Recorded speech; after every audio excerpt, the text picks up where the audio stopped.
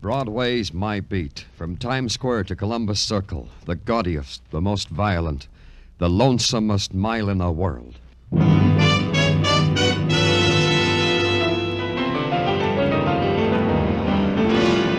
Broadway's My Beat, with Larry Thor as Detective Danny Clover.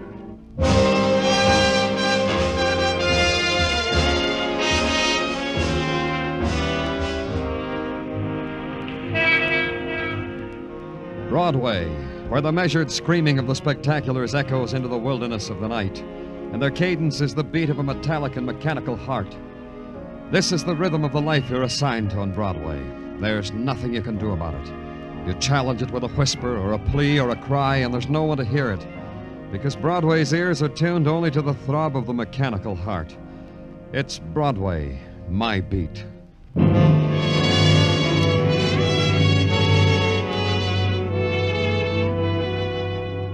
It came at noon, a transcript of a phone conversation requesting the extraordinary pleasure of my presence at the apartment of one Dion Hartley, but urgently, but immediately.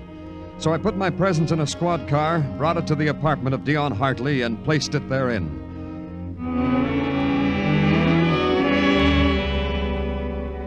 It was an experience. The apartment seemed to contain everything exquisite that had been fashioned or dreamed by men, all in crystal glass cases all tagged with little golden medallions, and all ruled over by Dion Hartley, but exquisitely. This excruciatingly lovely Grecian statuette, Mr. Clover. You want to know what it cost? No, not particularly. Of course I... you do. It cost me my most precious emotions, even a few pennies of my soul, if I had one. A devastating price to pay, Mr. Clover, for a lousy statue. If you say so. You're delightful, Mr. Clover. You want to know why I sent for you? Fatally, inevitably, you. Now I'm here, I might as well know. For a very simple reason. I am going to be murdered. Don't look at me that way, Mr. Clover. I'm quite, quite serious. Tell me about it. Look about you, Mr. Clover. My apartment, my possessions. All these reveal a man. Me. Dion Hartley. Satirist for the magazine Satire. Revealing, no? Up to a point. Exactly. Only to a point. You would not know, for example, that I am abysmally weary of all this, that all these are only toys, that I have played with them, caressed them, and quite had my fill of them. Up to here. So? So I have gone on to playing with other things, more variable, more thrilling, more impassioned. You're out of my depth, Mr. Hartley. Like what things? Like human emotions, to be exact.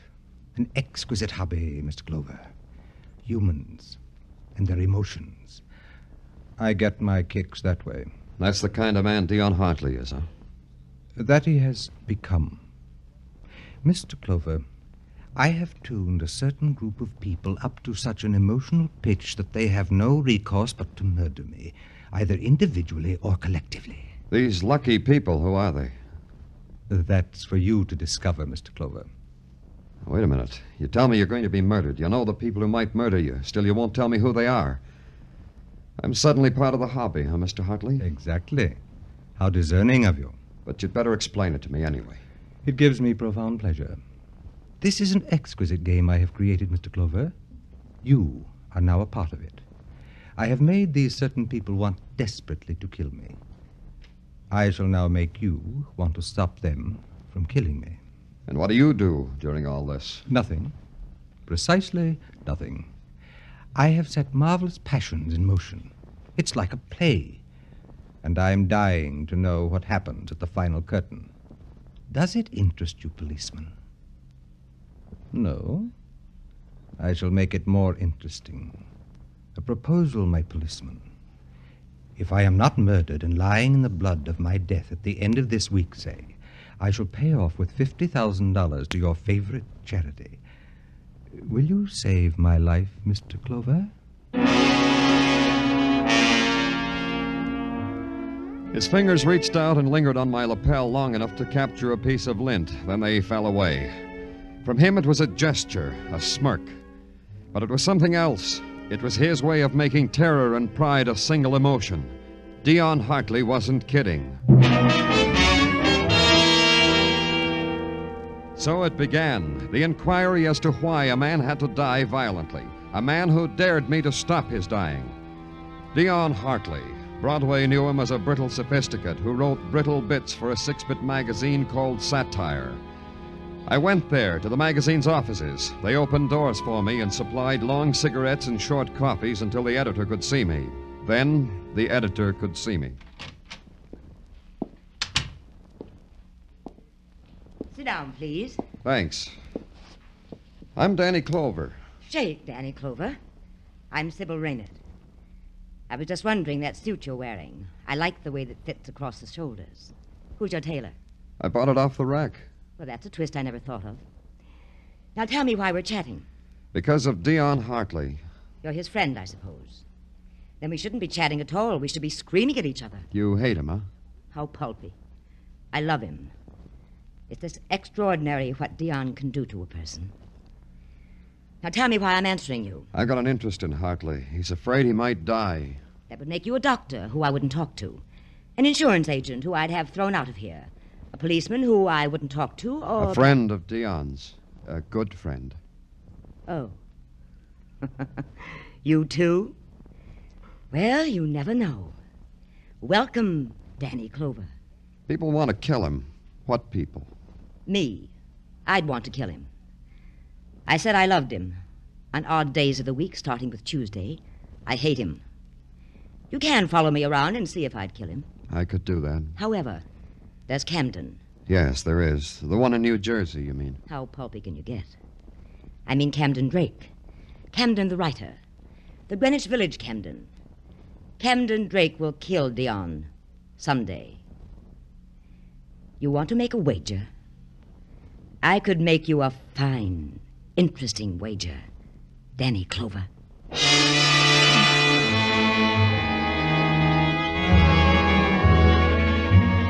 It was weird. It made no sense. A policeman tracking down a crime that hadn't been committed. A crime wanted and willed by a man who knew its shape was his own death by murder, and who had called in a policeman to prevent it, if the policeman could. Any setup as insane as that takes special handling. So I handled it in a special way. Sybil Raynard had given me the cue. She wouldn't talk to a policeman, she said. So I stopped being a policeman. I became just the good friend of the good Dion Hartley, and then Dion's other good friends talked to me. Camden Drake was no exception. Dion sent you to me? Yes, Camden, Dion said you and I'd have a lot to talk about. Dion is never wrong. Uh, you're a writer, he said. I write. That must be very interesting to write. Most of the time, it stinks. Huh. Dion said you have great talent. He said you were Promising? promising. That's funny. He never told me that. Oh? Is that the lot we have to talk about, Mr. Clover? No, I've heard other things about you. You have? Like what? Like if Dion should be killed, murdered would uh, be more exact, it would be you who murdered him. Ah, that makes for interesting talk. You don't want to know who told me that? Not especially. But that kind of talk could get back to Dion. It could even break up your friendship. Doesn't that bother you? No. And I'll tell you why, Mr. Clover. Because the friendship between Dion and me can't be destroyed by the ugly mouth of Sybil Raynard. You knew all the time, Camden. What's this, Camden? A manuscript you were working on? Yes, and put it down. You won't mind if I glance through it. Dion said. Put it down, I said. Put it down! Take it easy, Camden. It's not polite to slap friends, friends of Dion. If you read a word of that manuscript, I'll kill you. It's that good. It's huh? only for Dion to see. Only for Dion! Do you hear me? Yeah, I hear you, Camden. But maybe Dion will never get to read it because he'll be dead. Because maybe you'll kill him before you finish it. Is that why he sent you here? Because he thought I'd kill him. Maybe. Oh, he's so wrong. So wrong. He's got it mixed up, that's all. He should know it's Joan. It can only be Joan. Joan? He didn't tell you about her? About Joan York? No. Then I'm telling you. Go talk to her, Dion's friend. Ask her why she wants to kill him. I'll do that, Camden. Where do I find Joan? In Gramercy Park. 1712 Gramercy Park. Well, it's been a nice talk, Mr. Clover. Promise me you'll never come back.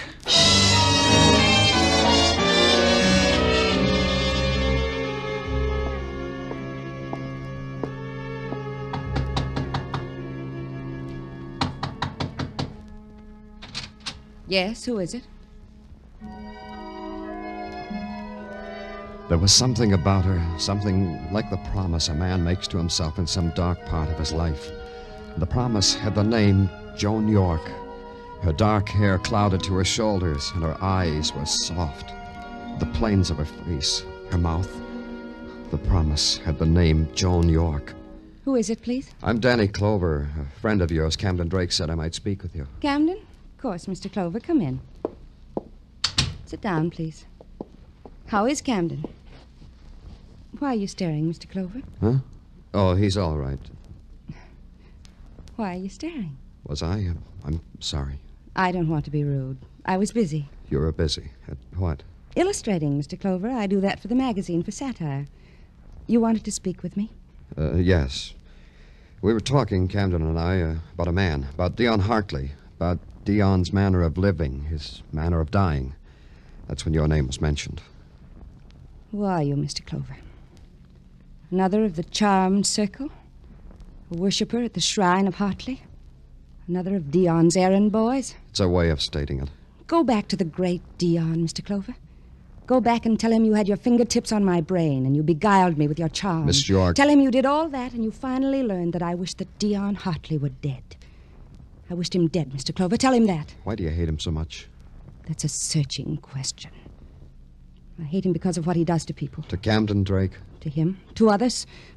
But to him. I don't want Camden to disintegrate. To be a friend to Dion Hartley is to sow the seed of your own destruction. But you know that already. I know. Then you know the disenchantment that Hartley causes. Hartley sneers at the world and passes it on to all who touch him. That's death to a talent like Camden's.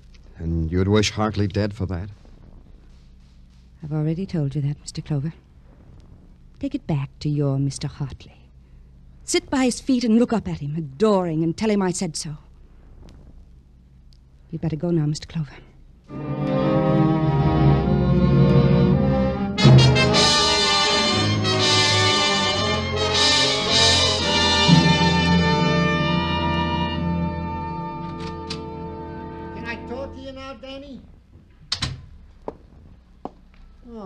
Danny.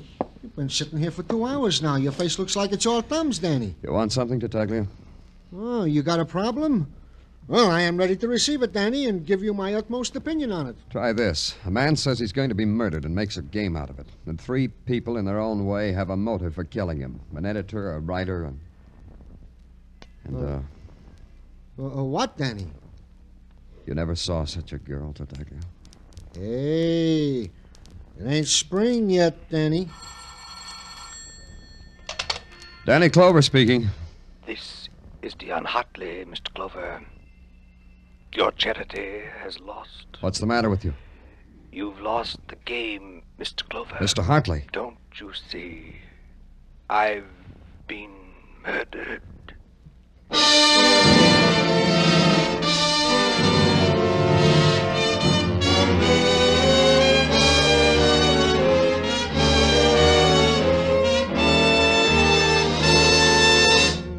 You are listening to Broadway's My Beat, written by Morton Fine and David Friedkin, and starring Larry Thor as Detective Danny Clover. Money, music, fun, and action. Whatever you want, CBS has it for you this Saturday night. Money, 53000 in cash and prizes in Sing It Again's Phantom Voice Jackpot. Fun, a full measure with the Goldbergs, with Arthur Godfrey's Digest, with the campus kids of Young Love. Music, how can you beat that hour with Vaughn Monroe and Gene Autry? And action, you'll get it with Gangbusters. They're all heard every Saturday on most of these same CBS stations. So be listening.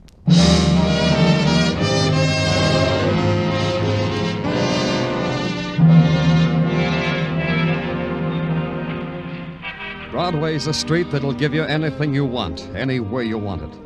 All you have to do is set your mind to it and be looking in the right direction at the right time. If you look one way, Broadway's liable to wink at you and nod its head. But look another way, you're liable to get a newspaper shoved in your face. That's so you'll see the headline up close Dion Hartley shot to death. Then you keep on investing in later editions to find out what juicy set of circumstances made Dion Hartley a murder victim. It was my job to gouge out the facts. At headquarters, Sergeant Gino Tartaglia summed it up tersely.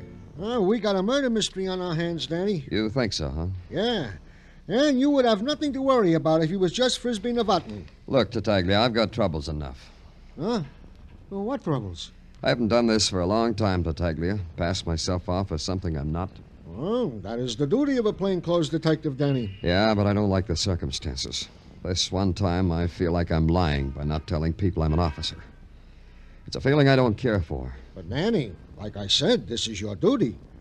I don't understand, Danny. What people in particular do you feel like you're lying to? To a murderess, maybe. Girl. A girl named Joan York.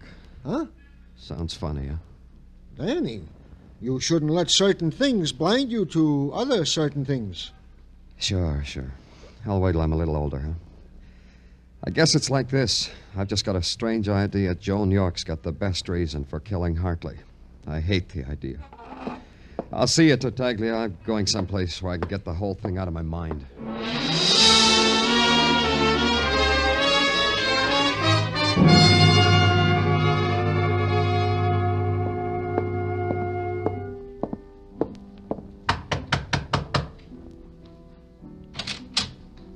Joan, What is it?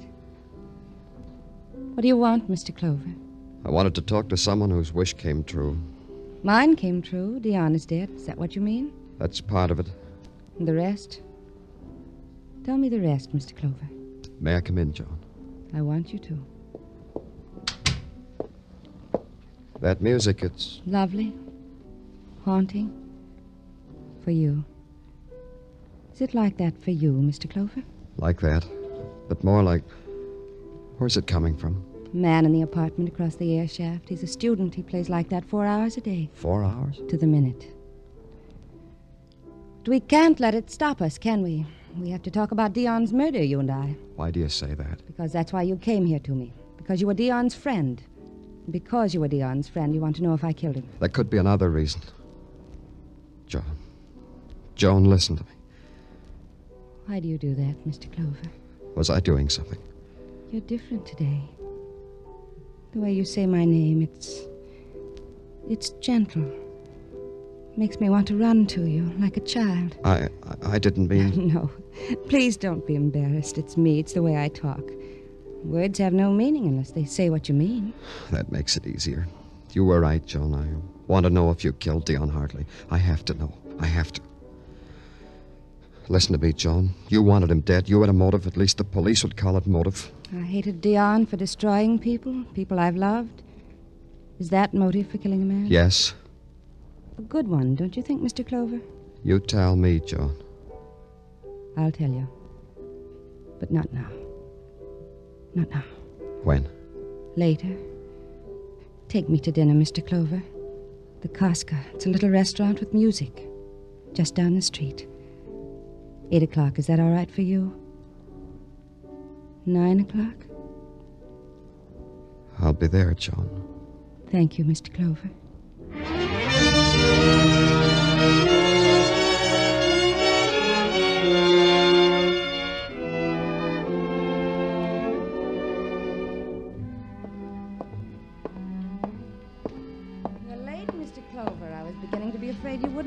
Come. I'm sorry. I had some things to take well, care of. it doesn't matter. You're here.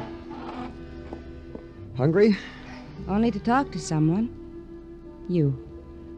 Are you hungry? No. Then we can just sit and talk. I've been thinking, Danny, What? What were you thinking? that we're very much alike, you and I. How, Joan? There's a kind of terrible loneliness in you. I know it. I. No, don't stop me. I know it's a loneliness. Because you couldn't understand so well all that's empty and lost and frightened in other people. I know nothing about you, Danny. How did you get so far along so fast? You're frightened, aren't you, Joan? No, not that. It's not the right word. Released, free, lonely. Are those the words? It depends. On what I may have done with my life? Or someone else's life? On that. Will you dance with me, Danny? I want to.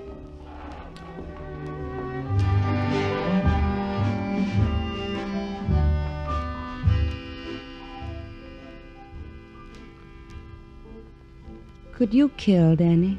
What? A man like Dion Hartley. Could you have killed him? I don't know. I think you could have. A man like that. Did you? Somewhere, somehow, he must have given you motive, too. No, I didn't kill him, Joan. I know you didn't. I just wanted you to consider it for a moment. The thought of killing Dion. It didn't revolt you, did it? Did it, Danny? Dance with me, Danny. Dance with me. Well, well, well. If it isn't Joan Girl, complete with nothing. Hello, Camden. Goodbye, Camden. Camden, please. Please. I like that when you say please to me, Joan. It's like the old golden days before Dion Hartley. Whatever it is, take it somewhere else, Camden. That cut it, didn't it, Joan? That shining thing we had, you and I. Dion loused it, didn't he? Didn't he, Joan? Yes, he made it rotten. He made it filthy. He made me want no part of you or of him. So you killed him, huh? You killed him! You killed the best thing that ever happened to me! You killed him! Take it easy, Camden. Take it easy. The people are. Take your hands off me! Take them off! Easy, kid. Easy. I told you! Maybe now you'll believe me. Yeah, that's twice now, Camden. I owe you something. Uh, uh, here, here, here, you two. Break it up, break it up. What do you two bums want, all right? Hey, What's hey, the matter, officer? You want something, officer? Uh, keep away from me. But, but, but I... I said keep away. Okay, but it shall be as you wish.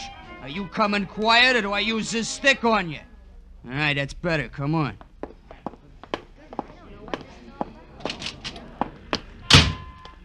Thanks, Patrolman Meshikoff. You did great. Look, look, I'm only a stupid ox, Danny, but I don't get it. You, I should arrest. Yeah, exactly that. I didn't want those people to know I was a cop. Oh. I want this to look legitimate. Call me a paddy wagon officer. I want to go to jail.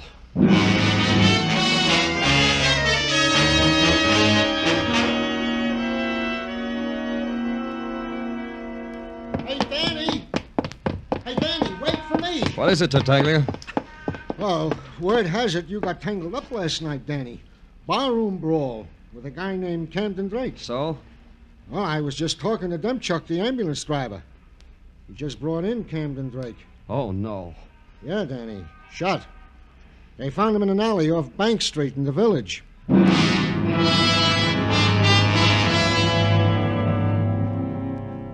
I only kidded myself for a couple of hours longer. I told myself maybe Sybil Raynard, the editor of Satire. I told myself that and had her checked and found out she'd flown to Florida immediately after my interview with her and had been confined to her room with the flu since she got off the plane. Airtight. Then I stopped kidding myself. I set everything up with headquarters and walked to where I had to go. And all the way there, the streets were gutters. And where I walked, people looked away.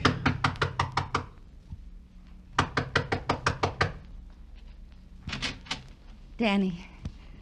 Come in, Danny. So early, Danny. It's hardly noon. You mind, Joan? Oh, you know I don't. Sit down. All right. Joan. Wait a minute, Danny. I'll fix some coffee. No, don't. No? Joan. Joan, after I was arrested last night. I went right home. Is that what you were going to ask me? Yes. Camden Drake's dead, Joan. He was shot dead. I don't believe you. He's dead. But who? It doesn't matter much, does it, Joan? Does it? Look, Danny, I'll get some. Wait, the door. Yes? Hiya, baby. Hiya, Johnny. Johnny, baby. Say hello, Johnny, baby. Come here. Danny! Take your hand off him. Hey, hey, who are you shot? Who is this guy? Johnny? Outside. I said outside. What are you... Danny! Danny, he's got a gun! Yeah. Oh. Yeah. Danny! Danny, what did you do? Don't worry about it, Joan. I'll get him out of here. But you. You've just. He's dead, isn't he? Get away from him, Joan. You don't have to look at him. Look, listen to me. I'll get him out of here. This doesn't have to concern you at all. You understand that, don't you? Where will you go, Danny? I've got some money. Europe, maybe. I don't know. Take me with you. What? Take me, Danny. I just killed a man, Joan. You don't deserve to share that. Danny. You just stay here. I'll get rid of him. Danny, I, I killed Dion Hartley. Don't stare at me, Danny. Yes, I killed him. I think you knew that, didn't you, Danny? Now you know. Now it makes everything all right. You can take me with you, Danny. Both of us. Joan. Yes, and Camden Drake, too. I killed him, Danny. Now you can take me, Danny. Now we've got two awful secrets we can share. It's better. Why? Why did you do it, Joan? I had to. I thought I was in love. In love with Camden. Dion was squeezing Camden's soul. I killed him. And the boy? It was easy. You heard Camden. He didn't want me. Camden knew what I'd done and said he was going to the police. It didn't matter after that. After you. Didn't you know, Joan? No. No what? I'm a policeman, Joan. Danny. Get up, McGibbon. You can get up now. Uh, yeah. Okay, Danny. Danny! Danny, no! No! Danny, you! No!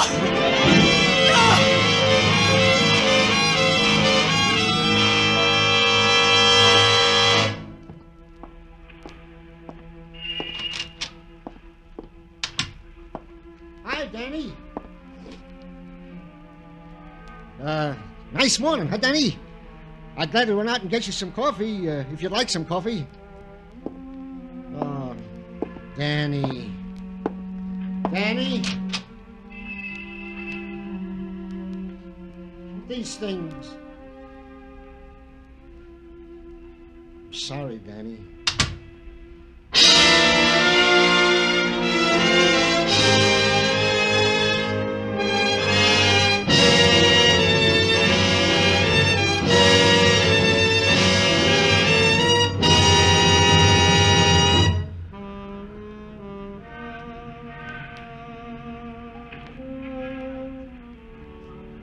Stretches out in front of you, this mirage called Broadway. This street that offers you dreams, then laughs in your face. Its crowd and cruelty, its sound and sorrow, its fury and a teardrop. It's Broadway, the gaudiest, the most violent, the lonesomest mile in the world. Broadway, my beat.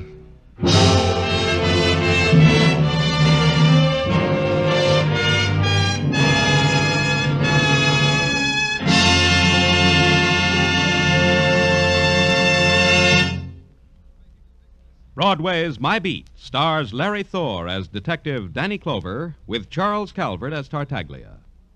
The program was produced and directed by Elliott Lewis. The musical score was composed and conducted by Alexander Courage. The cast tonight included Ann Stone, Virginia Gregg, Elliot Reed, Ted Osborne, Bert Holland, and Jack Kruschen.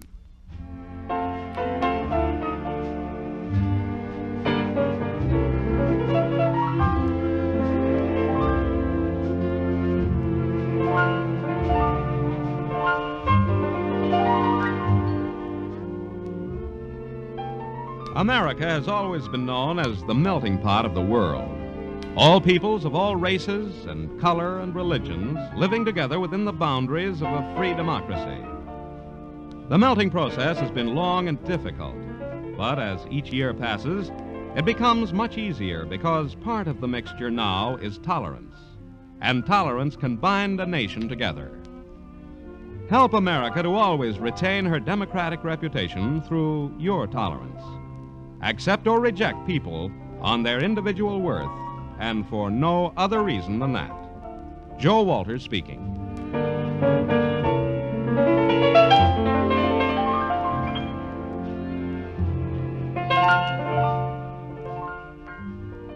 This is CBS, where you'll find Broadway is My Beat every Friday night. The Columbia Broadcasting System.